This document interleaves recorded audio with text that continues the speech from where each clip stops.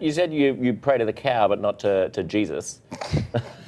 You- I take it, uh, take you don't think there's a big man upstairs? Or what, how do you feel about the role of religion in American? Oh, Jesus. You want to get heavy? I mean, we can go there. Ooh, I like this. This is fun.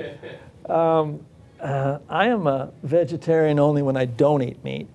We have two flesh terrors left. It's going to be vegetarianism, but it'll be about several million years before we get there. Way to dodge the religion question. Uh, no, I'm going right for it. Here's the deal Jesus is definitely the lead singer, but Buddha is on drums. And clearly, Allah is on guitar because, you know, all those women, the virgins, you know.